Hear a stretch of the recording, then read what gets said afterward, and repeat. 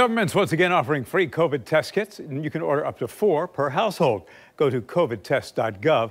They are free, and so is the shipping. Now, sharing your email is optional if you'd like to get confirmation and delivery updates from the U.S. Postal Service. Do want to note that some scammers are taking advantage of this free service. To avoid scams, only use that covidtests.gov website. Never click on the links in unexpected text messages or emails.